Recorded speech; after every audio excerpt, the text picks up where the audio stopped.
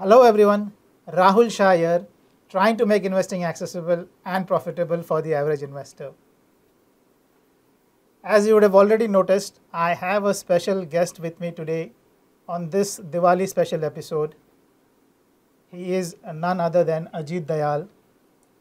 Most of you know him as the founder of Equitymaster, founder of Quantum AMC, a prolific writer, and of course, a prolific speaker.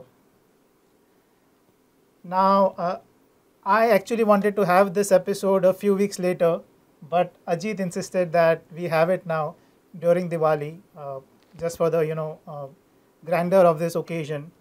And there are a lot of things happening internationally, which Ajit felt uh, that he should uh, you know uh, talk about and educate our viewers.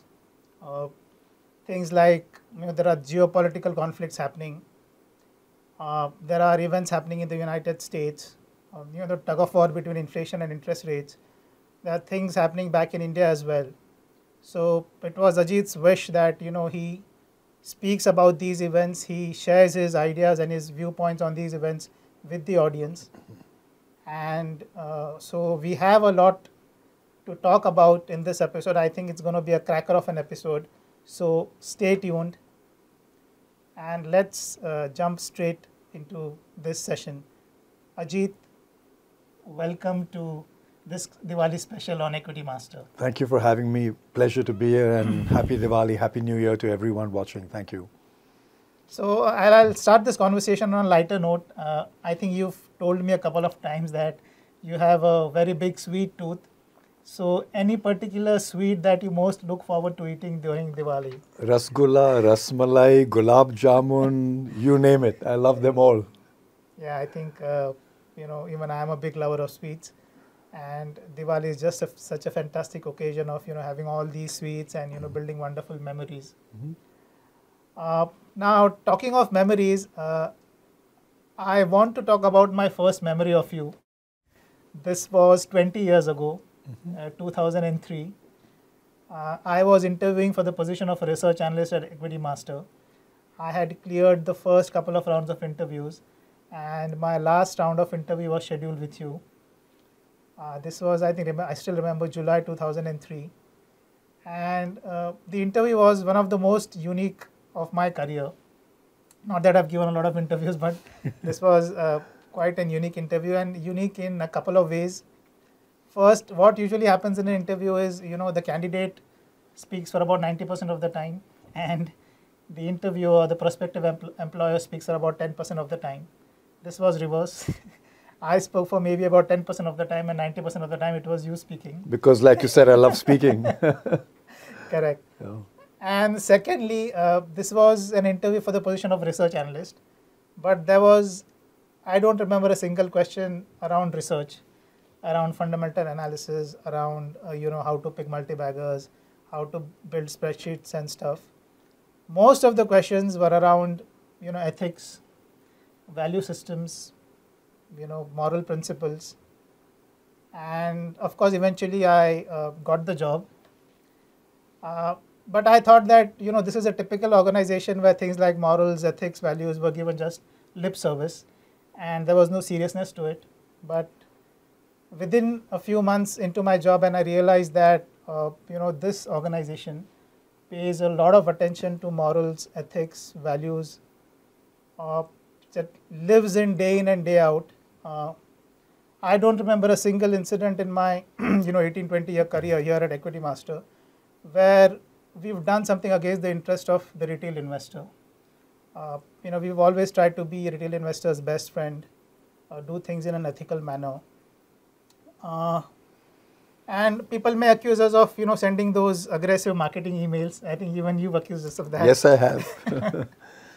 and they may sometimes accuse us of having a conservative investment approach of selling our stocks too early.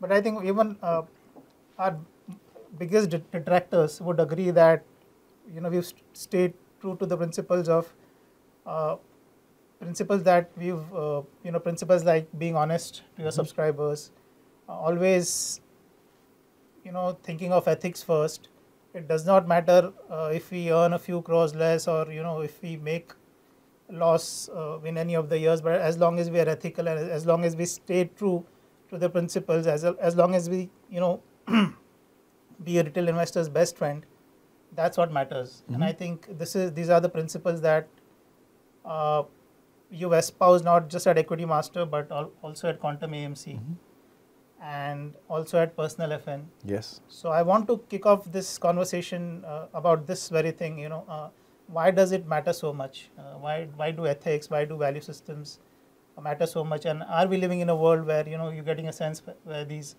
these principles and these moral val- values are getting eroded?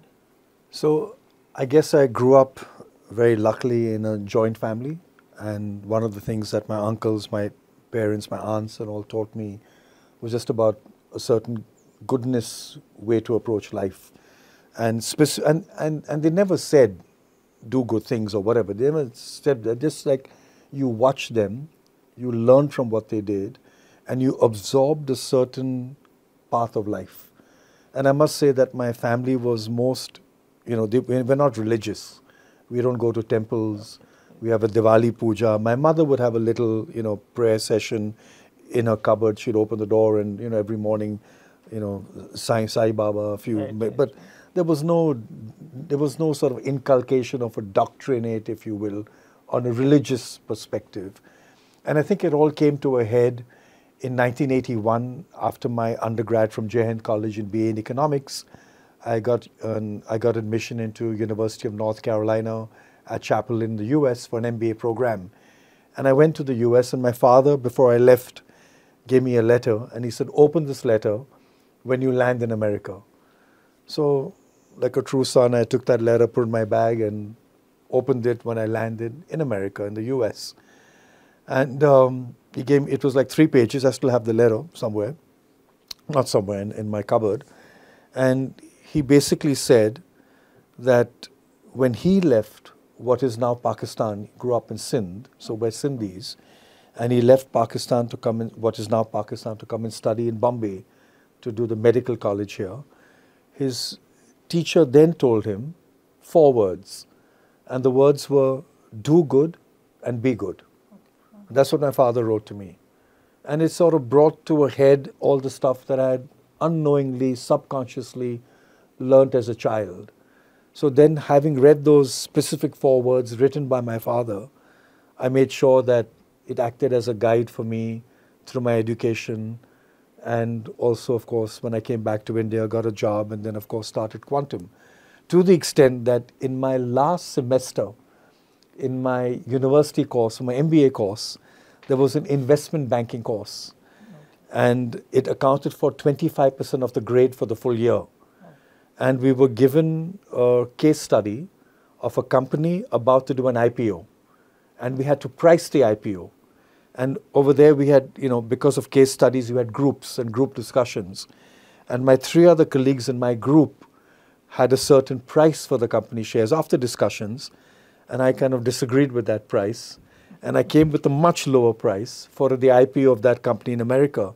And I submitted my paper and I got an F. Oh. An F for fail for a course that was one fourth of my of, of, of, of, that of that course for the year. And the reason I got the fail was because I was looking at the IPO from the perspective of the investor. So, should the investor make money or not? And should the IPO be priced so that the investor makes money? And everyone else was looking at the price from the highest price that the company can get away with and maximize its share of a price not what the investor will do. From the perspective of an investment banker. Exactly, from a banker and the fees that come with it. So I got the F. But I guess in our whole life, and you know, you all have the example of Reliance Power's IPO, where you all gave a price which made it the front page of newspapers, which was do not subscribe. I was not part of that research process, you all were. You all came up with the research, but it carried on that same ethos. You didn't get the F. You know, you got the F on the day you wrote it but you got an A plus plus, I guess, from those investors who are thoughtful, from those investors who are sensible, from those investors who are not greedy and driven by greed, but are saying India's going to grow, the economy is going to grow. How can I participate in that economic growth by investing in individual stocks or mutual funds, as the case may be. And Equitymaster gives a solution. Personal FN gives a solution. And Quantum Mutual Fund gives a solution. But the ethics in all remain. And I think that's why when I was interviewing you and you've got a better memory than I have, I can probably remember what I said, which would have been, you know, if you come across a traffic light and you're late for a meeting, you know, if That you if you question, yes, right, sir. if you if you break that traffic light, it's red, you know you're going to make it for the interview and you know you're going to get a job. And if you stop at the traffic light, you know you're not going to make it to the interview and you may not get that job. What will you do? Right? That was one of the questions. And that all is about culture and ethos and ethics. And as, as I said then, uh, we can teach someone to be a very good research analyst in six months, 12 months, a great analyst within three years, a good fund manager within five years. But you can't teach ethics. That comes from what you've learned at home, from your parents, from your gran- grandparents, from your friends, from your uncles, your aunts. It's that underlying sublime message that you grow up with. And other stuff, you know, you can teach everything else, but you can't teach that. Correct. And I think we don't even question it now. I think for most of us at Equitymaster, it just comes intuitively to us. Uh, we analyze anything, we look at IPOs, we you know uh, look at companies, and we always put ourselves in the shoes of the retail investor, and then analyze the thing, and then uh, ask whether this uh, does this have the potential to make good money for a retail investor. You know. Does it have the potential to earn good risk-adjusted returns for the retail investor? Correct. And that just comes intuitively to us. now, Absolutely. think. Absolutely. Yeah, yeah. It's second nature now. It's- it's second So, nature. so that's what kind of drove me, right? The studies. And then I had this fantastic professor, I was very lucky, who taught us ethics in business in, in, in the MBA course in North Carolina, Professor Jack Behrman. And Professor Jack Behrman would host this course in the class. And when the doors opened, uh, it was basically a few Asian students who were in the front row, and all the white skinned American, if I can say that, were all in the back row. Whereas in the investment banking class, it was the opposite. The white skinned Americans wanted to rush to the front of the class as soon as the door opened and occupy that chair so that they can hear the professor better and watch the screens better. And you know, rest of us had to struggle to get seats at the back and it was complete the flip. And so ethics and business was, to me, like a strange course. It's like, really, you have to actually teach businessmen ethics? I didn't. I was naive. I assumed that all businesses were ethical, and um, and Jack Behrman effectively explained and taught me that's not the case. You know, uh, companies are not born with ethics. they don't have the DNA of ethics, most of them, and you have to filter that, filter out those companies in your portfolio as you do, and you have to filter out the managements from your portfolio which don't subscribe to that long-term governance and long-term ethics. So yeah, so that's part of the whole history of why it's ingrained across the group, as you mentioned. Now, another uh, you know memory of you is uh, when I was uh, just starting out as a research analyst, was you mentoring us, teaching us. A group of you know the entire research team used to sit and Ajit used to uh, teach us investing and teach us how to value companies. And it was, I think, the meeting was a nice marriage of top-down view versus bottom-up view. Uh, we all analysts used to we, we used to be sector specialists and we used to you know uh, give views on our respective sectors and our respective companies and Ajit used to give his top down perspective and I think that has sort of come to define your investment philosophy over the years marrying the bottom up with the top down. And uh, you know we value investors are taught that most of the times we are taught that you should ignore the top, you know uh, top down view and you should only focus on the bottom up view. And uh, you can do a good job as an investor if you focus only on bottom up investing. But there are a few turning points every few years where uh, you know if you identify those turning points in advance like the 2007 2008 crisis uh, imagine uh, you know anticipating the crisis in advance and sitting on a lot of cash. And then when the market crashed you had a lot of cash to invest in stocks 2020 before the covid crisis. So most of the times top down may not work that well uh, and better off sticking to bottom up. But there are these turning points every few years where if you get the timing right or if you you know anticipate them well in advance it could make a huge difference to your overall returns. So can you uh, uh, uh, explain our, to our readers, you know, how to marry the two and Sure. some of the important turning points that you've had in your career that Yeah. made a huge difference. So at the time, uh, again, I've uh, finished my MBA in 1983. I worked in America for a year and I came back to India 84. And then I worked with Mr. Ashok Birla, who taught me a lot about business and ethics, etc. and uh, that's where I got my learning and my ideas for setting up Quantum. And uh, in 1997, we had a joint venture with uh, Hansberger Global Investors. Tom Hansberger was the co-founder of what is now Franklin Templeton, in those days called Templeton Galbraith Hansberger. And they were the first international value investors, if you will, out of the US. And for example, they big bet against Japan. First, they invested in Japan, then Sir John Templeton felt Japan was too expensive and recommended selling and sold out just before the bubble burst in 1989. Uh, so, so that was history. And when I was working with Tom in Florida for about uh, seven years, one thing I realized was that they were looking only at valuations. And while they did look at uh, GDP and other macro indicators in different countries, they were not going deep enough. And having grown up in India, where you know government policy can decimate industries and businesses or give them huge leg up in some sense, you have to understand the macro a little better, not only globally but also in the India-centric world. So we made sure that in our processes that we built, so we had joint ventures with Jardine Fleming, 92 to 95, then from with Hansberger, 97 to 2004. So all the stuff that we learned, things to do and things not to do, we made sure there was a macro overlay in what we did. And I'll give you one example. So I may believe, as I do, that uh, if I looked at my parents' age, no one wore bikinis, and very few people learned how to swim. If I look at my generation, I'm, you know, I was born in 1960, so I'm 63 now. But I look at the generation born between 1960 and 70. Many of us studied in India, studied abroad, have watched TV, and are, you know, swimming and more stuff. If I look at my children's generation, you know, they're in their mid 20s, early 30s. Um, they've all bought bikinis and short swimming suits and whatever. They all know how to swim, or they have a desire to learn how to swim, whichever way it is. So I'm sure that in India, over the next few decades, the uh, the clothes that you wear around swimming will go through a massive sale, massive. So that's a bottom up story for investing in a company that's making what we call swimming trunks or swimsuits. The top down fear factor is, and this happened after a, re- a election some years ago, where a political party in Goa said we're going to ban women from wearing bikinis on the beach.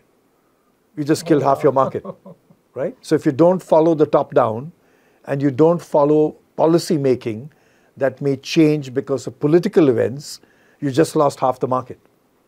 Right? So I- actually, you lost two thirds of the market because a bikini is two things and a man's swimsuit is only one. So you lost two thirds of the market effectively, right? So you have to be very cognizant of what rules are about eating beef, eating meat, drinking alcohol, swimming, traveling, women going to work, and women traveling on work. Is that allowed? Not allowed? A lot of that dynamic. And if you don't follow um, government's uh, sort of ability to influence policy and change it, it will impact, you know, the way you look at companies on a bottom-up basis. So you have to be aware of that. That's at a local level. At a global level, we saw what happened, a bunch of things that went wrong. So 2008, Lehman went bankrupt. 2008, uh, the Indian market fell by 50% after Lehman's bankruptcy over a few months, over five weeks. And the Indian currency lost about 25% in six months. So you had this massive double whammy if you're a foreign investor in India, where you've lost a rupee value of your stocks by half and the currency is taken away a, a quarter. When we studied the impact of Lehman, of the bankruptcy of Lehman on the Indian economy, we struggled to find more than a 0.5 to 0.75% impact on GDP.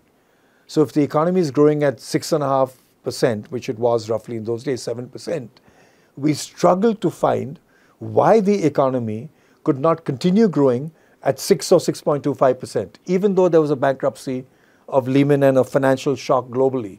So that was the understanding again of the top down impact or lack of impact of a financial event on the macroeconomy. So we actually came out with a statement to our international clients at that point in time saying that if you give if you invested in our product which is here known as a quantum long-term equity value fund if you invested in our product in October, November, December of 2008, we could see a return of 100% to 180% in that three month period, two years in the future. So, October, November 2010, you would make 100 to 180%. A lot of that from the expansion in multiples itself. No, just from the fact that the economy was not hit and companies that we held in the portfolio were still going to predict and we estimate have the cash flows that we thought they would have. And it was just a micro call, a bottom up call, recognizing that what happened in the US with the Lehman bankruptcy had no impact or minimal impact on India. Completely different from what the stock market anticipated. So earnings growth was more or less intact. Absolutely intact. Of good companies with good managements, with good balance sheets right? No leverage and all that stuff. If you had leverage, you were in trouble because you had to refinance your leverage at higher rates and all that stuff went wrong. And if you had international borrowings, more so, you were bust because no international group was going to relend money to India having lost money in currency and with a global financial crisis on their hand. So if you were borrowing money from the foreign banks, you were in trouble. But so the blue chip companies were sound financially. Absolutely fine. And go back, look at the look at the NAV of the quantum long term equity value fund on September 15th and September 30th, 2008, and look at the NAV, you know, two years later, and you'll see that. It's like pretty much one to one to what we expected. So, you know, that again is process that you're able to understand, watch, evaluate, assimilate what's happening globally, but then say, yes, it matters, or no, it doesn't matter. COVID mattered right? COVID was an event in March 2020 that impacted the world the and impacted the earnings. Yeah. So you know there was something wrong there. So you have to you have to you figure out and analyze what's impactful and what's noise in some sense. I've always admired your ability to you know simplify things, uh, complex things, and put them in a language that even uh, a layman would understand. And I think this is just an example of that. Amazing. Uh, so now uh, using that investment philosophy to maybe try and predict what's going to happen three to five years from now. Uh, normally, you know, we have our spreadsheets for companies, mm-hmm. and there are these macro assumptions that we need to make there. And for many years, these macro assumptions were, you know, in Indian economy will grow at seven, eight percent. Inflation would be four, five percent. Rupee would depreciate at two, three percent. But now there are a lot of these structural changes that are happening both internationally as well as locally. Locally, we have, uh, you know, a lot of liquidity that's coming into the mm-hmm. market. Mm-hmm. Uh, economic growth is good. Internationally, uh, I read somewhere that Howard Marks, who's a very famous investor in the yes. US, and he said that uh, there has been a sea change that, that's happening in the market, in the US market. And he gave an example of in 1980, he borrowed money for his house at 22.5%. Correct. In 2020, he borrowed money at 2.25%. So from 22.5% to 2.25%, that was a sea change in his view. Uh, and a lot of the growth in the US stock markets was because of interest rates coming all the way down to zero. But that is changing now. Uh, I think uh, we are in an era where uh, you know zero interest rates are gone. They should go back up. So in light of these changes that are happening both internationally as well as domestically, uh, you know, how do you see the next three to five years panning out? So, so I should say that I have a lot of respect for Howard Mark. I actually, uh, Marks, I spoke with him on a platform in America way back when, 2000, 2001, uh, when you know value was making a comeback after the Nasdaq collapse. Nasdaq surged in 99, yeah, July to December with the tech bubble, and then collapsed in from February 2000, and then value came back and things. So I was invited to Chicago, and he and I were on a panel together. But but to go back to what what Howard Marks experienced is that Firstly, he should never have borrowed at 22.5% in 1980, bad judgment, but he should have borrowed a lot more at 2.5. So yes, we are in an environment where globally interest rates, which have been just on a one-way downward trend, are going to normalize. So going back 50, 60 years in history, you'll find that the US 10 year bond, which is the safest so far risk free asset in the world, has given about a 4.5, 4.75% rate of, that's the average yield. And it came down to like nothing, to below yeah. 1%, and effective, well, to about 1% or so. And then it's now went up to 5, flirted with 5, and as of now back to 4.5%.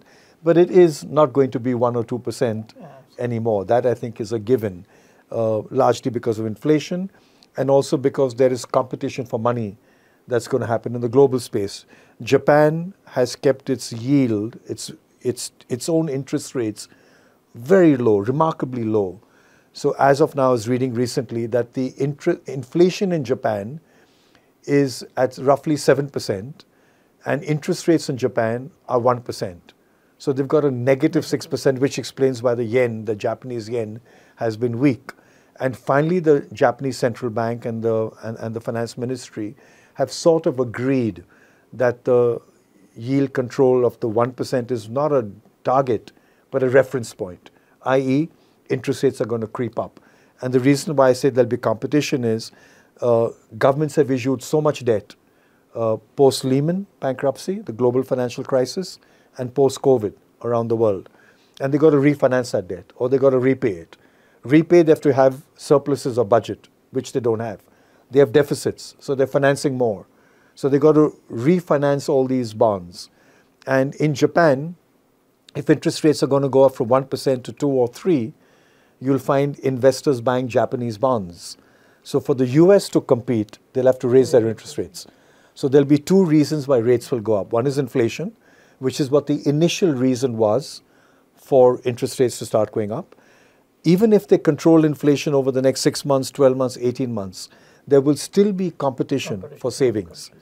And there will be this competitive increase in rates that will be increase, that will keep rates relatively high to what we've seen. They won't go back to 20%, but they'll certainly not be at 1% and 2% levels that you saw for a decade plus since 2008 9.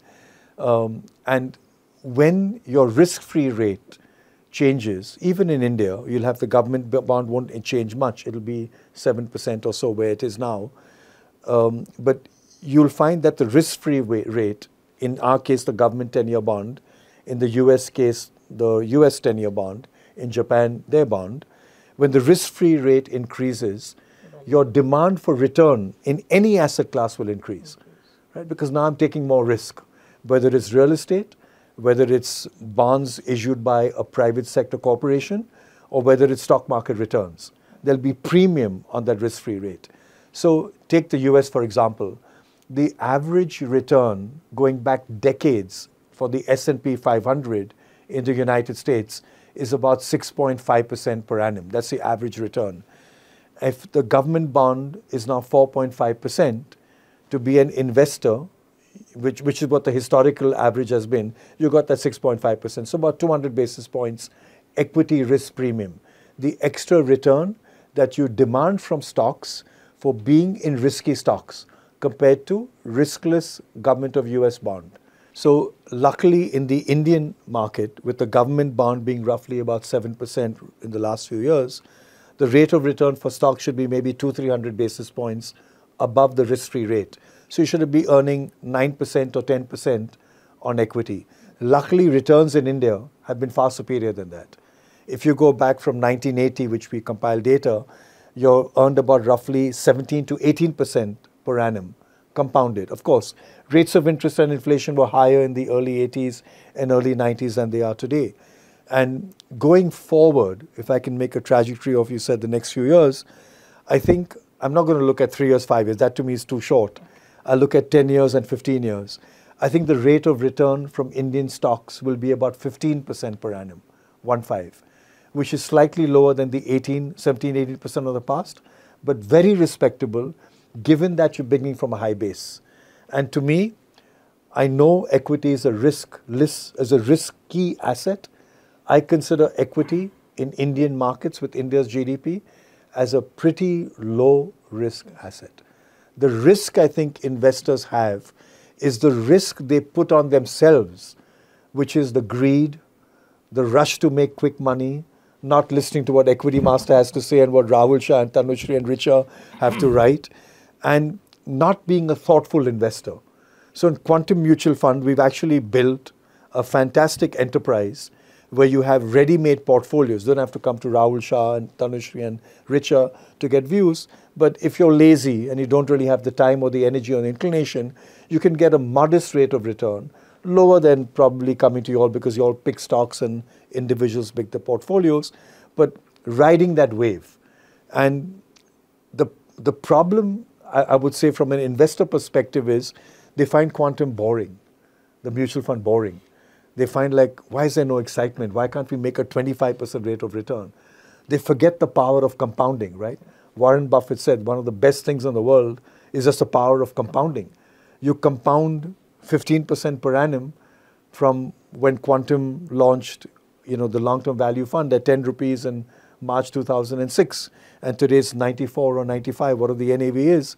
You've compounded at 14%, 15% which is fantastic. Without taking a lot of Without taking any risk in such. And on a tax basis, a smart thing to do because you're just leaving the money there and now you're paying long-term capital gains based on the new regime which keeps on changing and you're running a fantastic wealth creation enterprise while not focusing much on it. And you come to Richa, you come to Tanushree, you come to Rahul, you probably make a higher rate of return because you're advising and then individuals are listening to you all and building their own portfolios. So they can do that. But the opportunity to make money in a growing economy like India, and we don't believe the 7 8%. Our view on India is more a 6.5% rate of growth in real rate of growth in GDP over the next decade. We're not believers in 7 or 8. I think a lot of things on the infrastructure side, on the supply side, bottleneck side, on government policy making side need to change for 7 8 to be sustainable. You may get spurts of it, but not sustainable. So I'm very, very optimistic on India. I remain a massive bull. I've been a bull since I first discovered the Indian markets in 1977 when we had all the divestments of the FEMA companies, those days called FERA, when, uh, uh, you know, when you forced uh, Colgate and Lever and all to uh, sell you shares at a ridiculously calculated price, even, even lower than my F grade price for an IPO uh, which I got in UNC. So yeah, I've been a big bull on India, but I do recognize that there are moments in time when valuations are stretched, if not crazy, and you have to be sensible and recognize, as you indicated, to sell or trim and hold cash and wait for valuations in a post uh, SARS period, in a post Lehman period, in a post COVID period to just jump in, or, or when election results were announced uh, in different cycles when markets collapsed, when the Atal Bihari Vajpayee government lost an election 2004 markets fell by 25% in a week. Great time to buy. Because honestly uh, governments which are coalitions do not disrupt markets. Governments that are single party have the power to disrupt markets. And we can talk about that more later towards the end after i bought my insurance policy So to summarize what you just said, I mean, if you have an investment horizon of 10 years, you can still expect your stocks to earn 14 to 15 percent per annum. Mm-hmm. That's like a reasonable assumption to make. Right? Yeah, without taking undue risk. I'm not talking about illiquidity risk of small cap, strange managements. None of that. Those are roll the dice. You know that you can increase your chance of making more returns or probably lose some capital. Uh, since you just mentioned about small caps, uh, I know that you've just launched mm-hmm. a small cap fund, so congratulations for that. Mm, but I think a few weeks back we were having a discussion, and I asked you that you know why launch a small cap fund now, because we are at the peak of the you know small cap bull mm-hmm. market, small cap index that is at its peak, and then uh, you like just smiled and pulled out a sheet of paper, and on on that was a table where you had listed the biggest small cap funds in India, and the number of stocks each one of them had in their yes. portfolios. And I was a little surprised to see that uh, some of the biggest funds had become nothing but index huggers. Uh, from active, they had, they had become passive funds where they had invested in you know hundreds of stocks, and uh, it was very difficult for me to believe that you know how by holding so many stocks they'll be able to beat the market because they were more or less the index. And you said this is uh, what we are going to challenge uh, we are going to bring some active component to the entire small cap universe, and that's why you said that you launched a small cap Mhm. fund. And, uh, and, and could you just elaborate on that? Sure. So I'll, I'll, I'll make two statements. One is that you, you mentioned the peak, that the small caps are at a peak. I argued by saying, I countered by saying that the Quantum Long Term Value Fund was launched in March 2006. Uh, in Feb 2006, and we closed the NFO in March That was again, 2006. uh, close to market peak. That was a peak that time of the BSE 30 Yeah, and the yeah. and the large caps, and we went from an NAV of 10 to an NAV of 94, and the index went from 6,000 to 60 60,000. So you know you've seen that growth uh, effectively, and even now, while the in- index looks a bit frothy, I agree with that on valuation. W- it's at a peak, but so is the Indian economy, and the Indian economy has got more peaks to go, and the BSE 30 index has more peaks to go, and the small cap index has more Right. peaks to go. So there's more peaks in the future. What attracted us to the space was two things. One is we've been trying to do a small cap fund since 2013, and we're very clear that unless we find a process that makes sense, that is repeatable, like I can judge and I can estimate, I told you the net asset value of the quantum long term value fund. I said, go back and look at our data in September 2008 and September 2010 and, you know, September, October, December, uh, November, December of 2008 and, you know, September, October, December of 2010. And you'll see how we can estimate it. Uh, we want a repeatable process in some sense. A process is repeatable.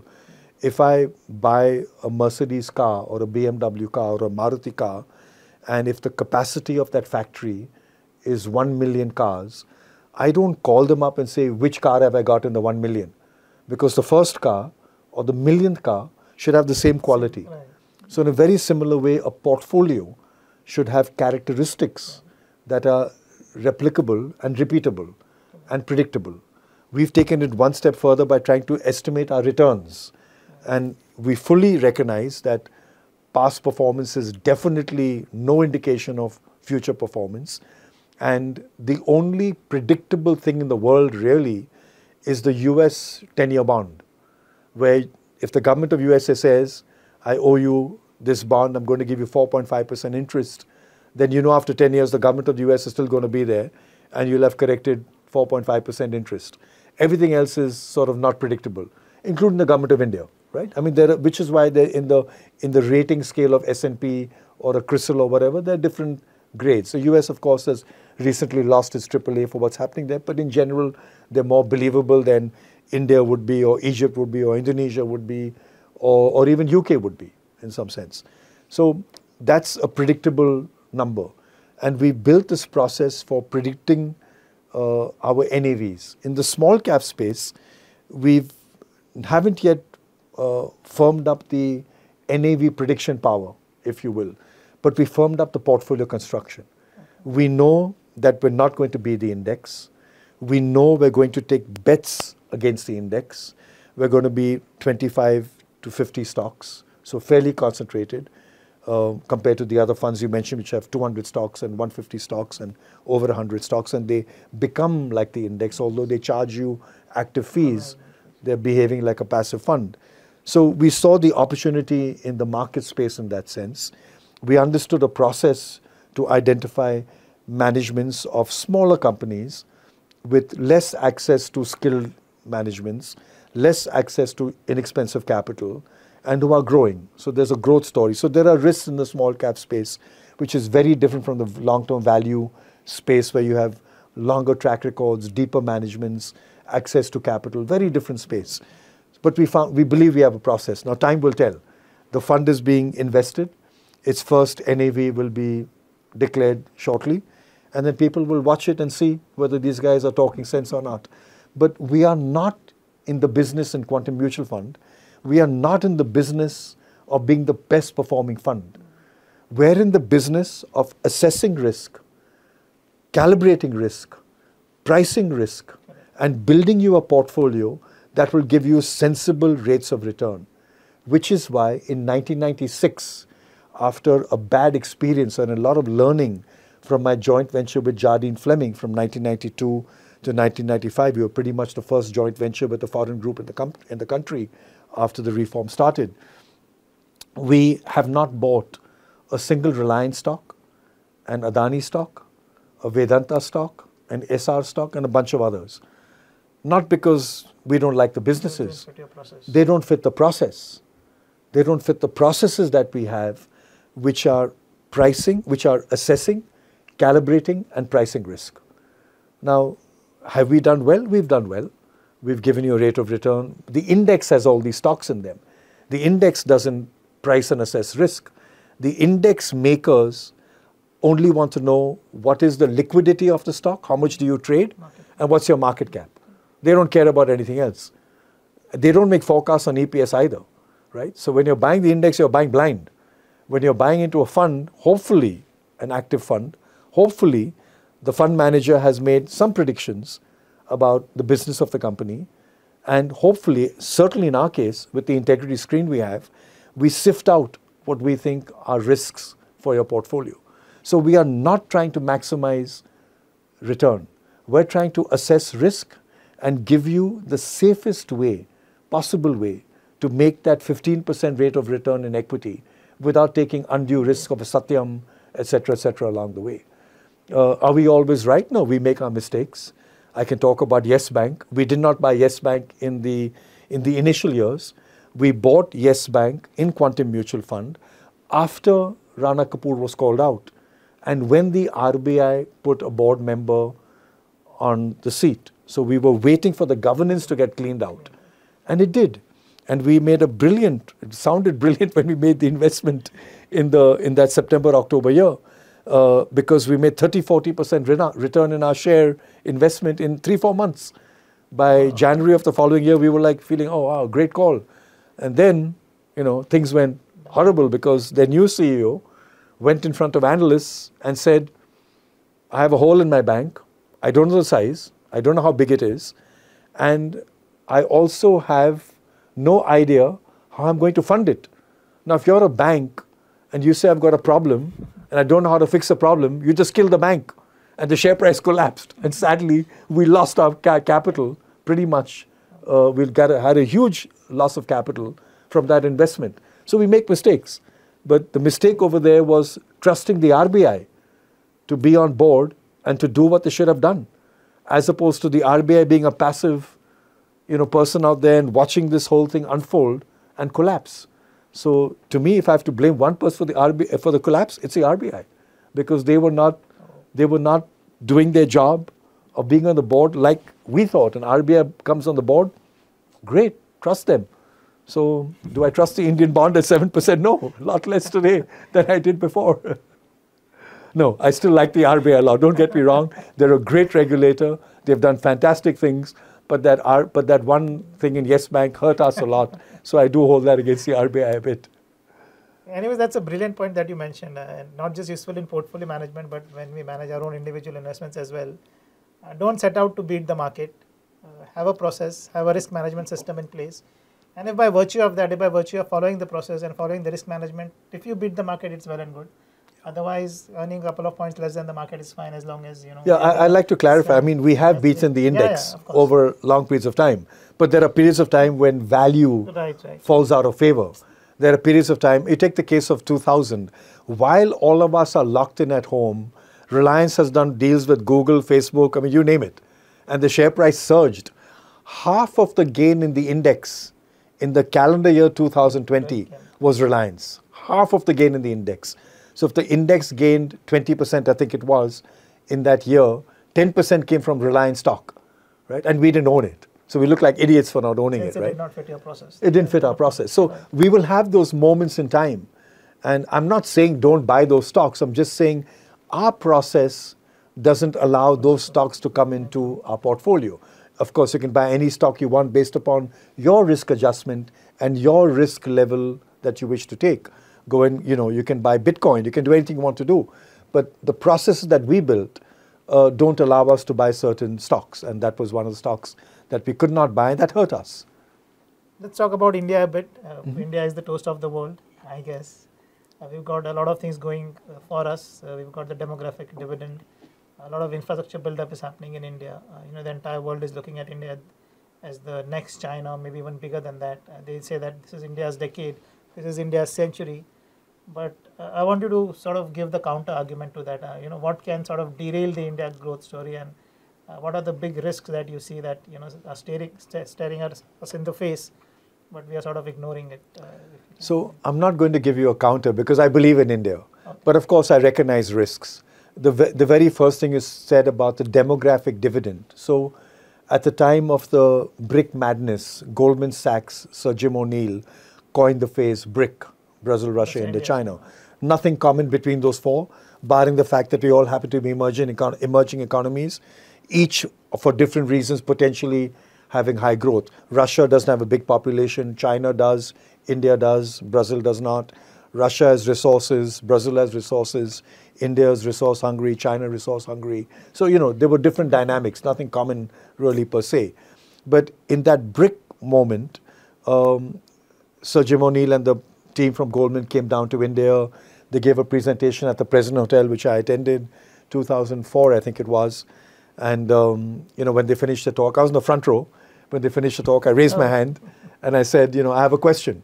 And the question was, uh, how did you assume that all those people looking for a job got a job and contributed to GDP. And the response that came from the Goldman team was we assumed that the government came out with policies to give the young people jobs. Okay? That's a nice assumption. and I said, as a value investor, you have to understand, as any investor, you have to understand government policy making. And I've not seen a white paper in 2004 from the government on job creation, nor did I see it in 2005, 6, 7, etc., etc. Um, but so the demographic dividend could become, even today, a demographic nightmare, where 20 years on, roughly, from when the BRIC acronym was created and branded as a great marketing tool for emerging market investment, and 20 years on, we still have a situation where the young people are coming into the job market and they're not finding jobs.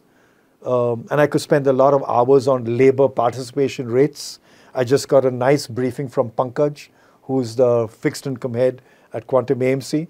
And he was talking about labor participation came down because people were not looking for jobs. They were lo- looking for to save their lives and they went home.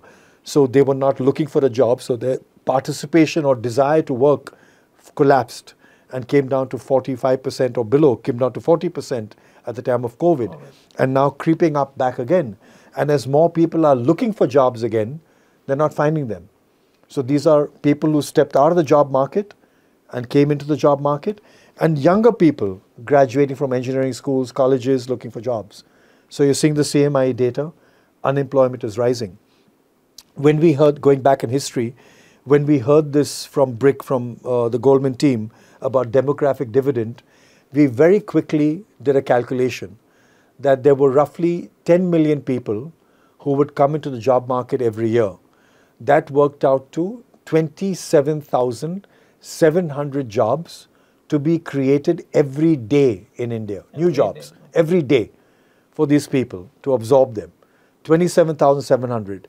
We looked at the other end of the spectrum, the developed world, the United States, Europe, Canada, Australia, New Zealand, the original G7 as they're called. 30,000 people retiring every day in those economies. They have a different problem. People are getting old, and the cost of keeping them alive, and they're living longer, and the cost of keeping them alive because of healthcare cost is mushrooming. They got a pension problem. So if you look at the pensions of California, of New York State, of Chicago, Illinois, the big states, if their pension liability is 100, they have assets worth only 85 or 90. They are underfunded. They have no idea how they're going to solve that problem. So, but think about this. If you're 85 years old and you're living in small town America, in the middle of nowhere, where most people live, unlike in India, where people live in cities more and more, in America they live in rural India.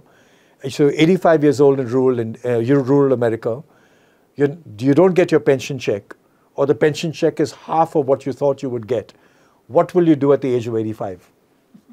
What are you going to do? You have to cut down on your expenses. You have to cut down on your cost, or you just roll over and die. You're not going to walk 200 miles or drive 200 miles, probably don't have a car at that age, to go to the center of the state legislature and protest. Now, take the Indian example. You're young, you're 22 years old, you're 25 years old, you're 28 years old. You've just graduated. You just finished some kind of schooling, some kind of university, some kind of diploma, and you're looking for a job. Full of rage. And you don't get a job. Now, what you going to do? Full of rage and energy. Full of rage and anger. The Arab Spring, which created this whole torpedo and sort of domino effect, if you will, in the Middle East for freedom, the Arab Spring will look like a Sunday picnic because the number of people who will protest in India will be 10 times what you saw in that wave of Arab Spring like activity. 10 times. That is why NREGA is the most important tool created by previous governments and enhanced by this government. Recognize that initially during campaigning, this government nine years ago had said they will try to do away with NREGA as they were going to do away with Aadhaar. Thank God they kept Aadhaar and they kept NREGA. It is the one fantastic tool to deliver money, goods, services, oil, gas, cylinders, food, whatever you want, by keeping both these uh, pr- projects alive. And you've seen the numbers for NREGA. They are leapfrogging. And that shows distress at the rural level. It shows distress at the bottom of the triangle, at the bottom of the pyramid. It shows distress across rural India. And that is a worrying factor. The great thing, of course, like to go back again, is that the governments recognize that. The governments have the tools and the ability to send subsidy, what they call direct benefit programs, electronically, very quickly, without the middleman stealing. And as long as governments in the state level and at the central level keep at with this, we're safe. And every time in the budget, for God's sake, if you hear more allocation to NREGA, you look at the BSE 30 index, it comes down because the BSE 30 index or the any index in the market represents wealth creation, short term, market cap, and they think of that as a negative. As an Indian, as a member of the society, you should stand up and applaud a government which gives money allocation to NREGA, which increases allocation to NREGA. That's your insurance. That is your insurance to ensure that society does not crumble. And that is, there are two risks in India. One is this the demographic dividend becomes a demographic disaster, right? That's one risk, which hopefully NREGA and Aadhaar and the digitalization of direct benefits takes care of, in addition to government policies for you know job creation. We did we did a study years ago. I don't know how accurate it is today. We did a study years ago that in India, so like I said, 10 million new jobs every year. Drivers are 3 million. The demand for drivers can be 3 million a year in this country. Now, if you got a job at Infosys or Wipro or HDFC Bank or whatever, you're not going to be sitting in a train, which is a mess in cities, buses that are non existent in most cities, barring, I think Bombay's got a great bus service, other cities don't. And metros are frighteningly expensive and may not be reliable, who knows, they're yet to be built and they'll take time to get built. You may buy a small car and you're not going to spend your time necessarily driving that car two hours in traffic. You'll hire a driver. We also did an analysis of, of driving licenses. At that time, we found that if you need 3 million or 30 lakh drivers in a year, the capacity of driving license was 2.5 lakhs. Now, you know, we assume that corruption was not so high at the DMV level, at the Department of Driving, of uh, issuing a dri- license level, but which is probably explains why there's so many accidents, because people may not have gone the whole driving test to actually get the license. They may get it in a short circuit in a faster way, and that's why your road deaths in America, in India, per kilometer driven, are 10 times that of the US. Right? We have 1.6 lakh, I think, road deaths every year, and we drive nothing compared to what America drives, and yet we have high number of deaths. So the demographic disaster is one concern. The other concern that I have on why India may not play out is the lack of government ability to take advantage of a situation. So you spoke about China, and clearly China is a problem for the world, and there's now a China plus one strategy. The question is, what are we doing about it? What are we doing about inviting bond investments, real estate investments, infrastructure investments, portfolio stock market investments, and of course multinational investments? The answer is not a lot. Uh, we may come out with this plans once in a while to do import substitution sort of thing, which was there in the 1980s and in the 1990s we've rebranded it. Um, and you get that moving along, maybe. Not, that's not enough in my view. And taxation is a pain. No foreign investor pays tax in most global markets when they invest, but they pay tax when they come to India. They don't like that. So when we talk to a foreign pension fund, they say, you know, the problem with investing in India is that I can invest in any other market and I have to beat that market and 10% more because that's your tax rate in India for long term. Why should I pay that? So unless the government recognizes that you're in a competitive environment and accepts this money more easily without the label that, oh, it's foreign money, why should we give it advantage? No, you're playing on a level playing field in a global sphere. You either play that level playing field or you put a hurdle of 10% or 20% or 30% tax and you don't get the outcomes that will be beneficial to India. So till today, the ratio of foreign investment in China, foreign portfolio flows, flows to India is 4 to 1. 4 to China, 1 to India. The foreign investment in multinational kind of investment, FDI, has been 6 to 1, 8 to 1, much higher. So they all need different policies. The portfolio one is easy, that's tax. The multinational is so much, right? Licensing, labor laws, supply chain, so many things that have to be fixed. And unless the government actually does this on a war footing, you may lose the opportunity. Geopolitically, if you're reading the little straws in the wind, the US is already trying to be a little more friendly to China and more accommodative to China. That's not good for us. If we are playing off a China is not liked and therefore we will benefit story, because in our, our own strength is not really that strong.